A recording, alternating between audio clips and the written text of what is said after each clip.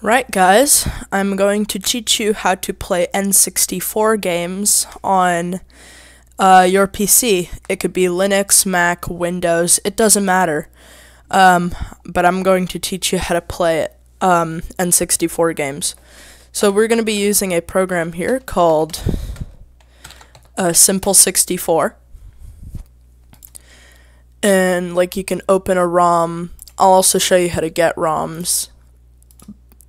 Oh, oops. Didn't mean to take a screenshot. But, um, to start, you want to install it. And on their GitHub, so I went to their GitHub.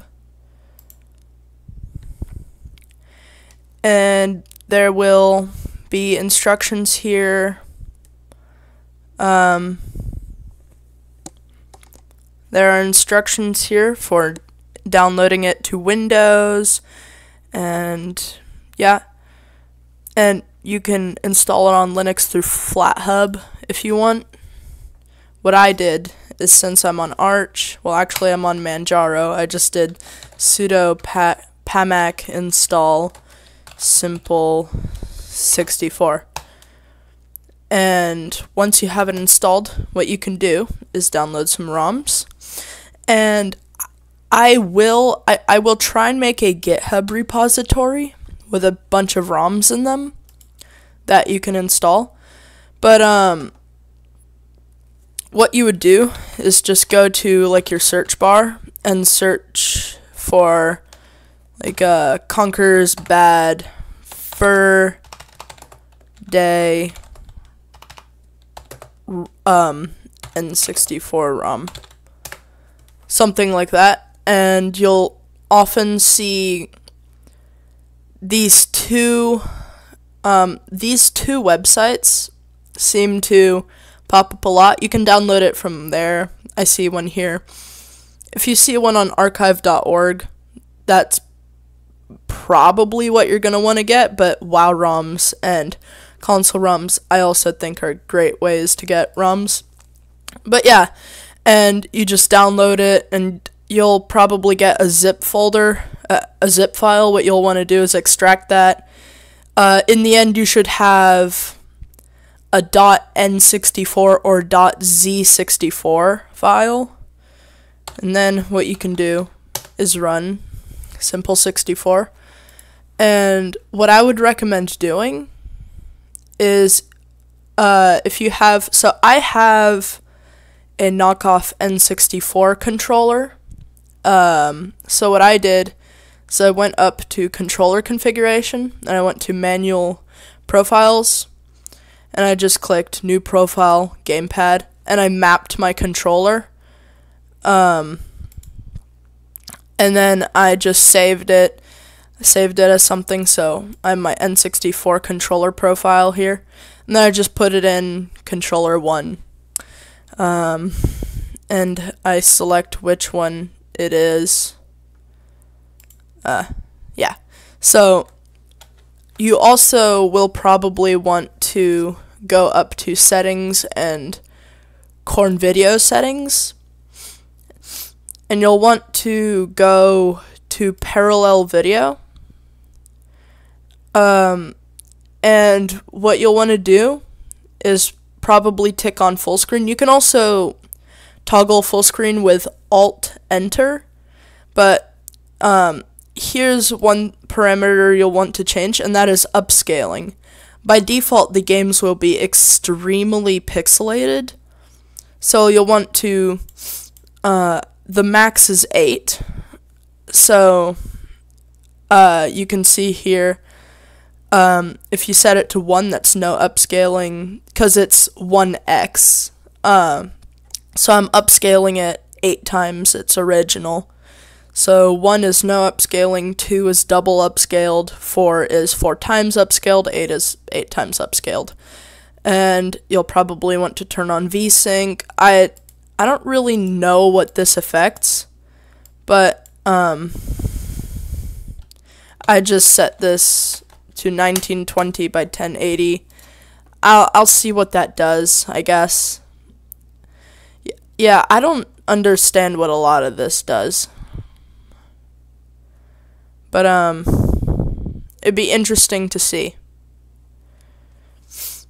And there might be some stuff here you want to change, maybe not. Just look through. There's net play. You can create rooms and join rooms that way. Um, emulation, you can change the emulation volume, mute, unmute, pause, resume game, stop emulation, hard reset, soft reset, toggle speed limiter, view log. So, what I did is I have a, oops, I have a directory um, in here somewhere that is dedicated to ROMs.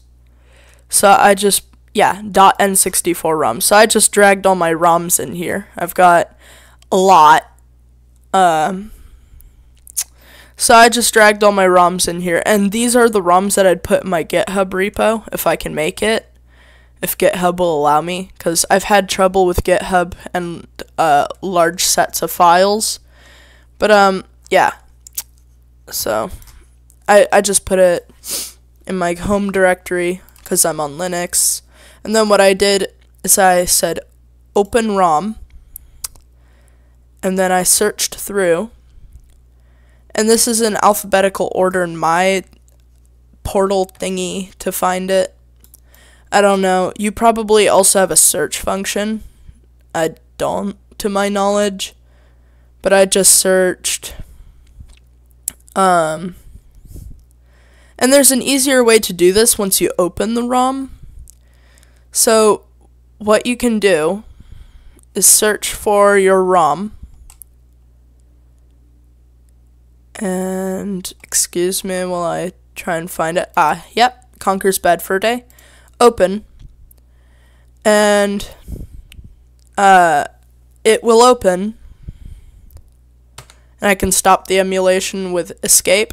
Now what I can do since I've opened it, go up to file, and instead of clicking open ROM, you can save yourself time and just click open recent. And if you do that, then you can just click that and it will open the ROM back up. Now, um, now I'm going to show you a useful feature and that is save state and load state with F5 and F7. So if I open Conker's Bad Fur Day, I actually have a state saved. So what you do is press F5 to save the state, basically saving what the machine has done at that time. And then I can press F7, and I'm in the middle of a game here, and you can see it has repopulated where I was. Um, so yeah.